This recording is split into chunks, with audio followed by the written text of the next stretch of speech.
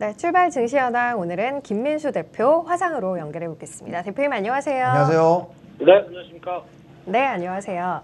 네. 자, 오늘 주제로 잡으신 건 이제 12월 들어서 중반도 넘기고 있고 앞서 저희 이제 오프닝에서 이야기했습니다만 거래일수로도 이제 열흘이 남지 않은 상황이기 그렇죠. 때문에 네. 12월 들어서의 수급 상황에 대한 점검을 좀 해볼까 합니다. 음, 12월 들어서는 외국인의 수급의 11월과는 다른 모습으로의 변화가 좀 있는 음. 상황인데요. 일단은 네. 분위기 어떤지 좀 짚어볼까요? 네, 어, 시장 분위기와 함께 수급 얘기 들기 전에 잠깐 리뷰부터 살짝 해보게 되면요. 네.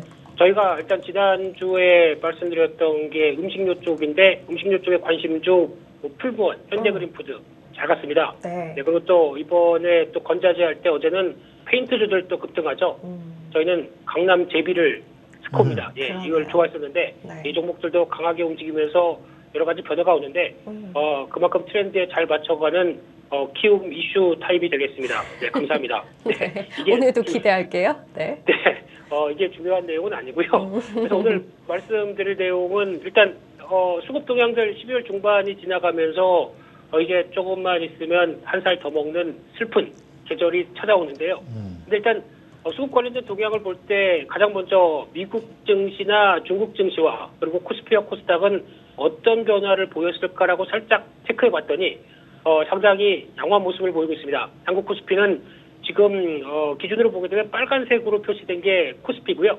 그리고 약간 노란색으로 표시된 게 코스닥인데 미국의 S&P 500보다 그리고 또 중국 상해 종합 지수보다 훨씬 더 좋은 성과를 보여주고 있다는 데 대해서 아마 이 갭을 혹시나 어, 보시는 이제 여러 이제 개인 투자자분들 힘이 아닐까 생각됩니다. 그만큼 시장에서 넘쳐나는 유동성과 함께 그에 따른 변화를 그대로 가져가는 쪽이 시장의 주도권을 이제 개인 투자자분들이 많이 바꾸셨죠. 그러다 보니까 이런 흐름들도 지수에 나타나고 종목들에도 나타난다라고 하게 되면 화이팅입니다. 음. 계속 이런 흐름들 쪽에서 시장의 변화를 계속 가져갔으면 좋겠고요. 어, 그런 측면에서 봤을 때 이제 어떤 수급 동향들을 또 살펴보게 되면은 네. 어, 어떻게 코스피 쪽에서 투자자별 매매 추이를 봤었을 때 지금 이제 중반까지 동향을 보게 되면 어, 어떤 지금 지수의 흐름들이 검은색인데 개인이 주도를 했다는 게 코스피에서도 뚜렷이 나타나고 있죠. 특히 기관 같은 경우는 여전히 매도세를 일관하고 있는데 외국인이 좀 아쉽습니다. 약간 12월 초반대 정도까지는 지수를 끌다가 지금은 오히려 좀 약간 소외하고 있다는 관점 쪽에서 어, 아직까지는 외국인들의 힘이 좀 약해 있구나라는 쪽인데 어, 그런 측면 쪽에서 이제 앞으로 그럼 또 환율과 같이 연결되긴 하겠지만은 어, 좀, 어, 좀 아쉬운 측면들이 좀 나온다는 쪽이고요. 코스닥도 마찬가지로 봤을 때 개인 주도와 지수의 흐름들 거의 유사하게 나오고 있습니다. 그런데 지금 어, 좀 차이는 외국인들은 코스닥 쪽에서 그나마 종목들을 좀 사보겠다라는 측면들이 높고요. 그만큼 어, 중소형주 쪽과의 괴리감이 좀 높다 보니까 그를 이용하겠다는 측면들이 나타나고 있다는 게 주목을 할 상황으로 보여지고 있는데 음. 마찬가지로 연기금도 아직 뭐 그렇게 큰 변화는 없고 기관도 어떻게 보면은 전혀 관심이 없고 하는 상황 쪽에서 여전히 시장의 주도 쪽은 어, 외, 개인 쪽과 외국인 쪽으로 살짝 기울고 있는데 그러다 보니까 여기서 이제 고민이 기관이 아닐까 생각됩니다. 네. 즉 저희가 보통 얘기하는 패닉 바잉 있죠. 이쪽에 아마 기관 쪽에서 물량도 적고 그리고 또 어, 어떤 지수는 조정받을 줄 알고 기다리고 있는데 계속 올라간다. 그러면은 안 되겠다 지금이라도 빨리빨리 사야겠다라고 하는 변화가 나오게 되면 이를 오히려 지금은 12월 말부터 1월까지 이어지는 1월 효과의 주역이 어, 빠르게 또 주식을 편입하는 기관 쪽이 아닐까라는 생각도 살짝 해보는데 별로 기대 안 하겠습니다. 그래도 개인 투자자 화이팅입니다. 네. 이 개인 투자자들이 에, 이제 얼마나 매수할 수 있는가 하는 것은 역시 이 증시 주변 자금 쪽에서 봐야 될 것 같은데 네.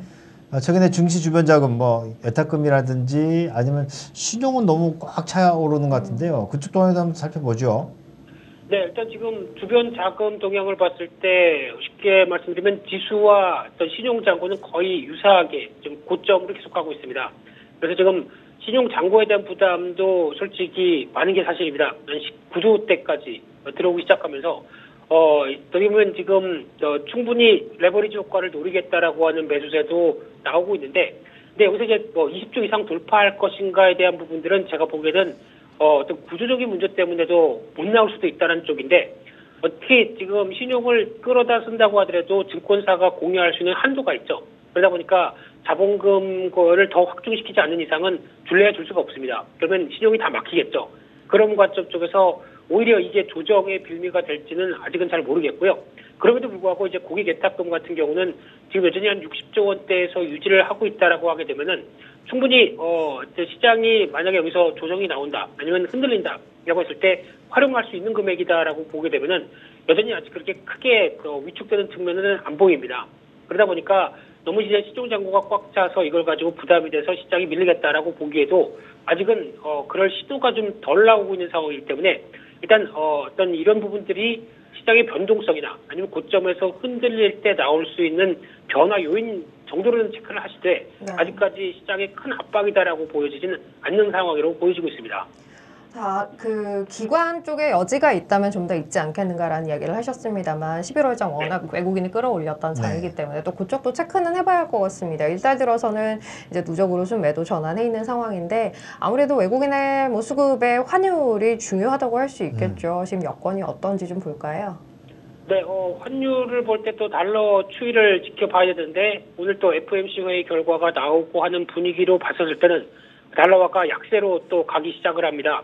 그래서 지금 최근 들어서 달러화가 어, 반등할까 말까 하고 좀 약간 멈칫멈칫했다가 실패했죠. 반등 실패하고 다시 어, 약세 쪽으로 가닥을 잡는 흐름들로 봤었을 때 이제 아마 이제 아마 다음 주까지 이어졌을 때 중요한 변화 중에 하나는 달러 인덱스가 90대를 깨고 내려가느냐라고 하게 되면 또 최근에 못 보던 변화가 나오기 시작하겠죠. 그러면 또 달러 약세가 가속화될 수 있는 자리라고 생각됩니다. 그렇기 때문에 그런 변화를 어떤 쪽으로 가져가느냐는 쪽도 눈여겨볼 수 있을 것 같은데 아마 제가 보기에는 미국의 경기부양책이 통과되면서 그러면 또 돈을 푼다. 그러다 보니까 달러와의 어, 어떤 하락세가 더 가중되지 않을까. 그렇게 되면 외국인들의 매수세를 촉발시키는 또 요인이 되지 않을까라는 쪽도 맞물려서 생각할 수 있을 것 같은데 어, 그 점도 눈여겨보셔야 될 것 같고요.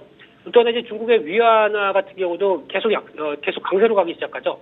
그런 쪽에서 최근 들어서는 정체를 보이고 있는데 최근에 나오고 있는 중국 지표들 보게 되면은 놀랍습니다. 계속 좋은 쪽으로 가져간다라고 하게 되면은 어, 경기와 관련된 중국 어, 달 중국 달러 대비 위안화 가치를 생각했을 때는 여전히 어, 강세 기조가 이어갔을 때 국내 환율도 원 원달러 환율도 이를 맞춰갈 가능성이 있겠죠. 물론 단기적으로 좀 급하게 워낙 강세가 보인 측면들이 있다고 하더라도 이런 흐름들은 계속 어, 어떤 기조로 어, 이어지지 않을까 생각되고 있습니다. 네. 자, 그럼 이제 조금 더 한 발 더 들어가 보면 이제 업종별로 어, 매매한 것들이 좀 달라질 수도 있었다는 생각이 좀 드는데 최근에 이제 IT 쪽으로 매물이 좀 나오는 네. 그런 상황 같은데요. 업종별 동향도 한번 좀 보죠. 네, 그래서 업종별 투자자별 매매 동향을 이제 15일까지 기준으로 해서 살펴보게 되면은 어 일단 여러 가지 쪽으로 봤을 때 개인들이 매매하는 쪽을 먼저 체크를 했을 때는 이제 가장 많이 산 쪽이 전기전자입니다. 그동안 어 외국인과 기관이 좀 비중을 줄이다 보니까 그의 빈자리를 전기전자 쪽에서 특히 뭐 삼성전자, SK 하이닉스겠죠. 이쪽에 대해서 개인들의 매수세가 돋보이고 있는데 특히 삼성전자 우선주를 많이 삽니다. 개인들 쪽에서는 배당까지 또 특별 배당 뭐 천원까지 생각을 한다라고 하게 되면 어, 가격 대비해서 더 어떤 배당률을 노린다. 삼성전자 우선주가 또 돋보이는 상황들로 보이고 있고요. 그 밖에 화학 쪽 운수 장비, 금융업 쪽 특히 이제 금융주는 또 배당을 노리는 쪽이 아닐까 싶은데 어, 배당 관련된 쪽의 금융주 투자는 살짝 또 고민을 해봐야 되겠죠. 정부가 좀 압력을 배당을 줄이라는 압력이 나오기 때문에 어, 좀 어, 어떤 배당률이 생각보다 덜 나올 수도 있다는 쪽도 어, 확인을 하셔야 될 것 같고요. 그밖에 외국인들 쪽에서는 화학 쪽 매수가 돋보이면서 여전히 2차 전지 쪽에 대한 시각 또 화학 계 업종 특히 그 제품 가격들이 올라가면서 나오는 변화를 그대로 누린다고 볼 수 있는 상황들이고요. 기관은 건설주 많이 삽니다. 거기다가 의약품 쪽 어, 많이 사고 있는 상황들이다 보니까 약간 업종별로 차이는 좀 있다라고 보시면 될 것 같습니다. 구체적인 종목들을 좀 보죠. 외국인은 화학업종에 뭐 단연 돋보이는 독보적인 매수를 보여주고 있는데 종목으로는 어떤 것들이 잡히나요? 네, 어, 외국인들 순매수하는 종목들 살펴보게 되면 거의 이제 IT 쪽 일관된 모습들 쪽에서 12월 달 들어서는 그래도 여전히 LG화학, 삼성, SDI, 2차 전지는 앞으로 대세다라는 쪽에서 계속 비중을 늘리고 있고요. 게다가 어, LG전자가 매수가 들어오는 게 눈에 띕니다. 아마 4분기는 좀 주춤해도 내년은 사상 최대 실적을 기록한다. LG전자 관심 있게 봐야 될 것 같습니다. 10만 원대 이제 안착적으로 바뀌지 않을까 생각되고 있고요. 그밖에 LG 디스플레이도 변화된 모습들이 나오고 있으면서 지금 최근에 이어지고 있는 패널 가격에 대한 변화 어, 눈여겨 볼 수 있는 상황들이고요.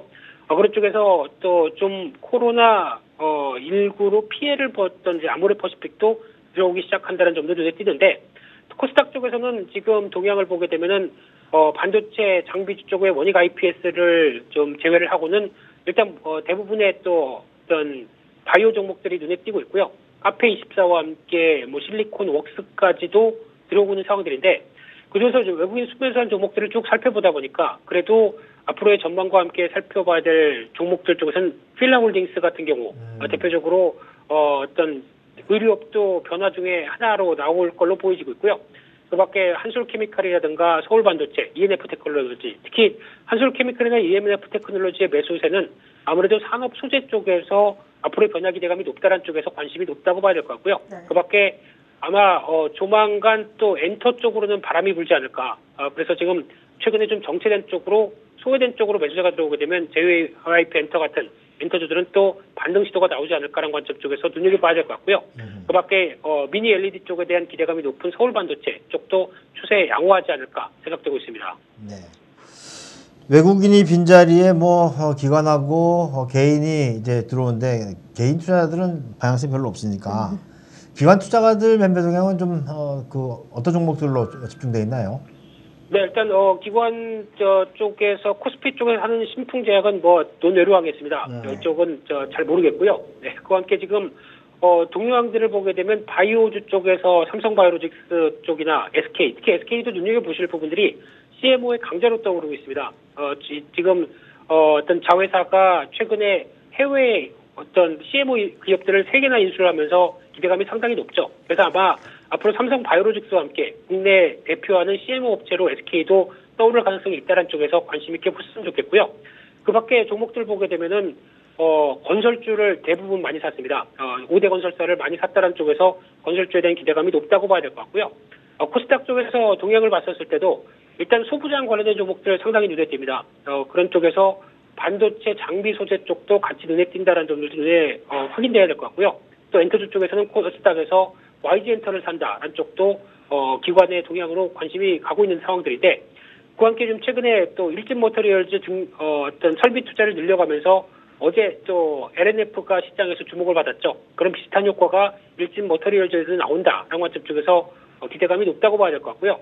그 밖에 또 원익 QNC 같은 경우도 기관 매수에 들어오기 시작하면서 특히 어, 2차 전지 쪽의 장비 쪽의 회사들, PNT나 신흥 SEC 쪽으로도 계속 어, 꾸준하게 매수세가 들어오고 있다는 쪽에서 아마 다음 어, 변화들은 이쪽에서도 충분히 시세가 나오지 않을까를 기대를 하는 기관의 동향들이었습니다. 알겠습니다. 자, 이렇게 어떤 종목들에 대한 관심이 어, 메이저 중심으로 이어지고 있는지 종목들 이제 12월 절반 정도 지난 상황에서 한번 쭉 추려봤고요. 키움증권에서 펀드 살 땐 누구나 선취 판매 수수료 0원